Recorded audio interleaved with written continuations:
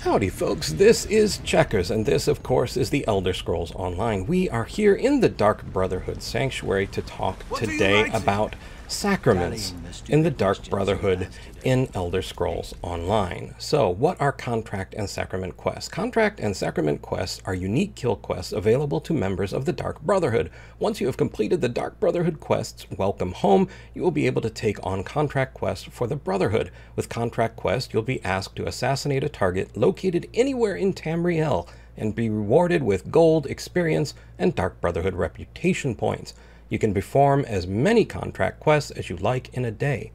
Sacrament quests are available after you complete the Dark Brotherhood quest, A Lesson in Silence. While sacrament quests also have you assassinate a target, they are generally more challenging than contract quests. You can only take on one sacrament quest every day, and they offer the best rewards for completion. Now that we know all of that, we come over to Speaker Terenus in the Dark Brotherhood Sanctuary, and why do you disturb me, Initiate? Do you have anything for me today, Speaker? I do. Our beloved Night Mother has received a petition.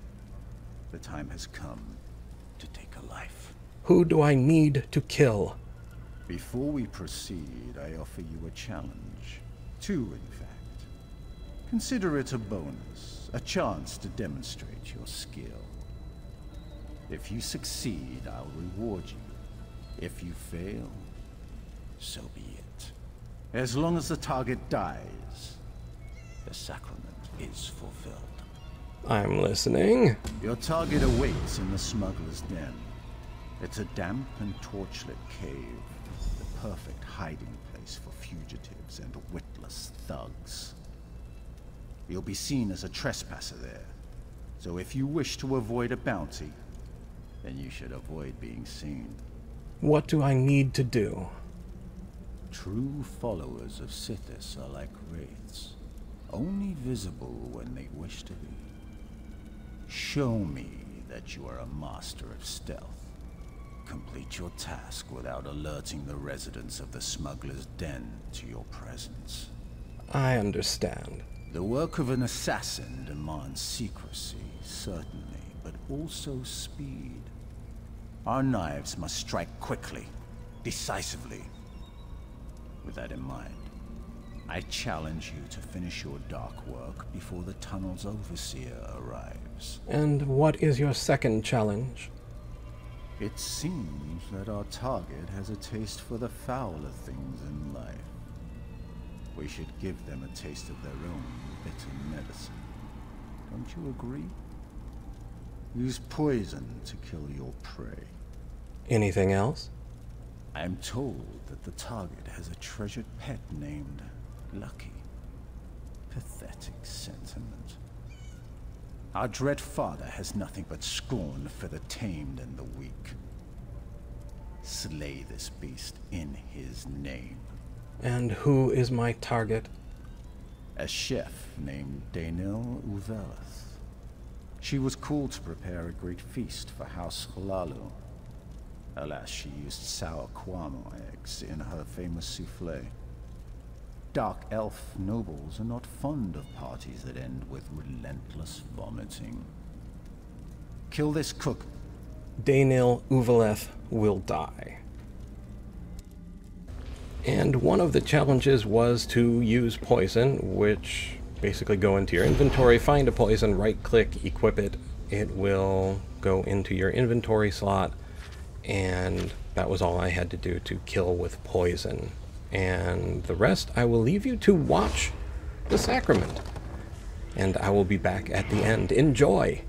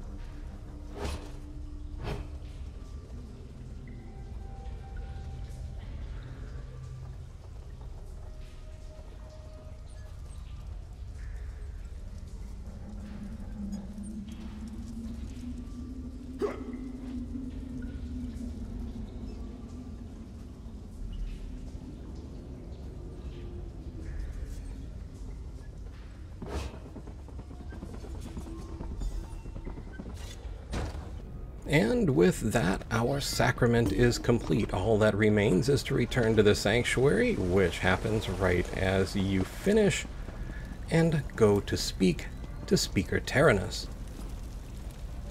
Do not dally. A throat awaits your blade's sharp kiss. I have returned, Speaker. Is it done, Initiate? The target in the smuggler's den has been eliminated. Well done. What about the challenges that I posed for this task? I completed all of your challenges. Performed with all the care befitting the Night Mother's sacred work. Your devotion to this task has not been overlooked. Return again tomorrow and I'll provide another opportunity to prove your prowess. And so we now have two unidentified Sithis touch equipment, an event ticket and gold, and a completed quest. The litany has begun. And here we can see some of the rewards. We've got a crafting motif and Sithis ring. And the other one is Sithis epaulets and a leniency edict.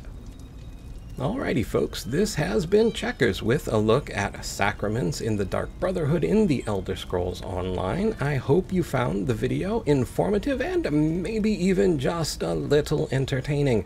I would like to invite you to subscribe, like, and share if you so desire, and thank you if you are already subscribed. I'd also like to ask you to please, please take care.